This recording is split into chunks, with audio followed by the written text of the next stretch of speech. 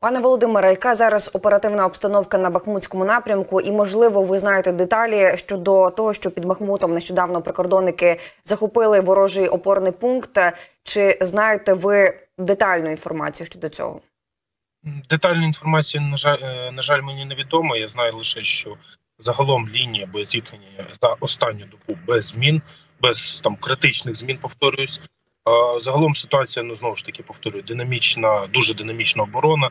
Десь ворог намагається протиснути, десь ми контратакуємо, десь ми е, відбираємо поз, е, позиції, на яких знаходиться ворог, наносимо йому вогневе ураження. Але пріоритет це виявлення скупчення противника, виявлення їх е, нових підрозділів, е, нанесення вогневого удару по ним і відповідно при можливості контратакувати.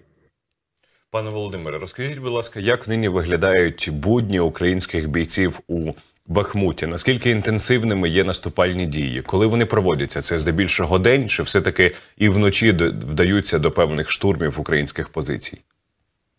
Ви знаєте, і оскільки сьогодні ранок можна пожартувати, будні нічим не відрізняються від вихідних. Один суці... одне суцільне пекло.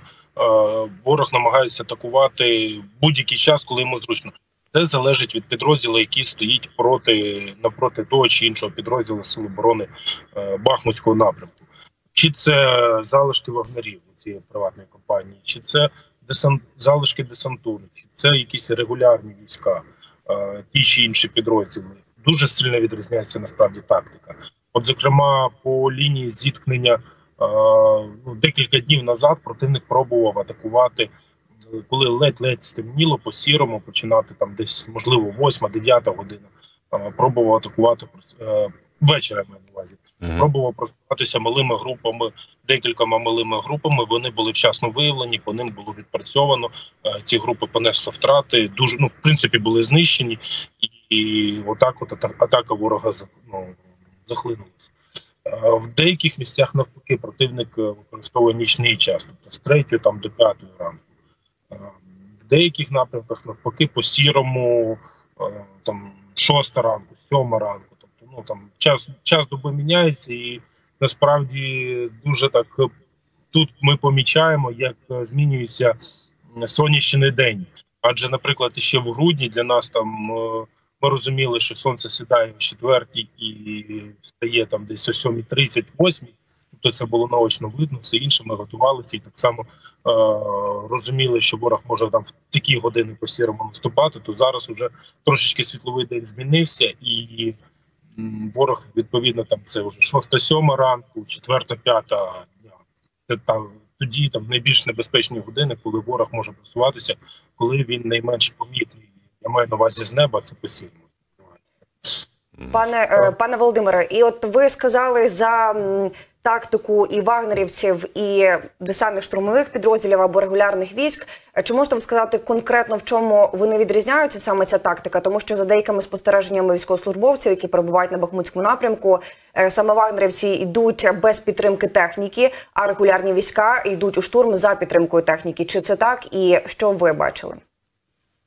Те, що от власне десь з листопада до 1 січня, фактично, це були в основному ці от е, компанія повара Путіна, приватна компанія, силами якої вони хотіли взяти, вкладали шалені ресурси, не змогли зганьбилися на весь світ, понісши величезні втрати, але все ж таки залишки цих зеків ніхто не збирається інвестувати, відпускати. Їх зараз прямо підпорядкували Мінвбивство РФ і прямо відправляють на м'ясо з тої тактикою. Дійсно, це просто велика кількість піхоти озброєна гранатометами, ГСами, тобто піхотним озброєнням, яке просто суне, суне і суне. Тобто одна група дійшла, е, має будь-яким чином відмітити, куди вона дійшла. Якщо останній боєць цієї групи помирає, він має знову ж таки там нав'язати якусь стрічку, пустити якусь ракету, там по рації передати якісь координати, якщо рація працює.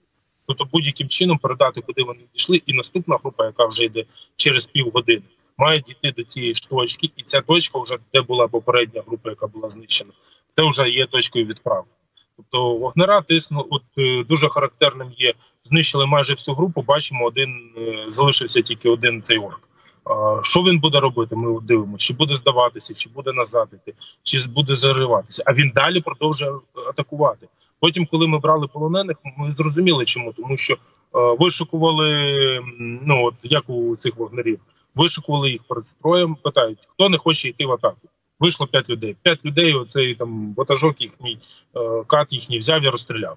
От така ситуація. Тому вони дуже залякані. Вони прекрасно розуміють, що атака для них це фактично смертна кара. В прямому сенсі слова їх просто ведуть на обої, що з двох сторін їх чекають кулемети, їх чекає роз- розстріл і розправа. І вони просто вибирають, де вони можуть більше вижити. І насправді вибору у них тут немає. Якщо казати про тактику десантуру, це, це вже застосування десантних озброєнь е, і мінометів, і СПГ, і там крупнокаліберних кулеметів. І десь, десь можуть застосовувати танки, чи можуть застосовувати е, Б, ну, БМД, там ну різні.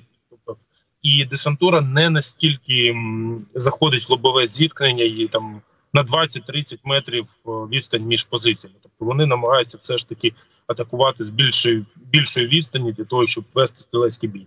Якщо казати про загальнопіхотні з'єднання, то то взагалі е, ну там особливої там е, небезпеки вони не являють, особливо підкреслю в порівнянні з вагнерами, тому що вони ближче ніж там на 300 метрів не підходять.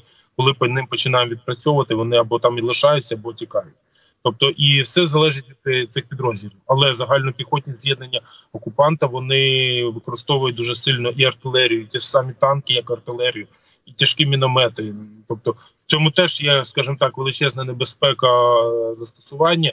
І найгірше, що на Бахмутському напрямку це дуже комбінована тактика. Там ці три години атакують е, вагнера, наступні три години атакують десанти, наступні три години атакує ще якась група якихось цих східних е, регіонів е, країни так. Пане Володимире, ви казали за стрілецькі бої на коротких дистанціях. Наскільки вправно і наскільки у них є досвід в окупантів вести такі бої на коротких дистанціях? На жаль, е, дуже небезпечна ситуація, тому що стрілецький бій в будь-якому випадку, якщо стане хтось і почне шмаляти з кулемета чи е, автомата, все одно це, це стрільба відносно направлена стрільба з автомата. Тут уже ну я не хочу казати на вдачу, але в будь-якому випадку будь-хто стріляє. Ну тобто е, можна навчити навіть е, там. Ну, я не хотів би порівнювати з тваринами, але навіть е, мавпочку можна навчити стріляти з автомата, просто тиснути курок. І цим самим вона може когось бити. Так само і оці от е, дешеві солдати, коли вони просто тиснуть на курок, е, коли вони йдуть, бачать їх сторону сил захисників, тиснуть на курок і направляють е, цей автомат, це теж дуже становить дуже велику небезпеку. Ем, Найбільша проблема в тому, що вони залякані. Залякані тим, що якщо вони не будуть вперед, їх позаду розстріляють.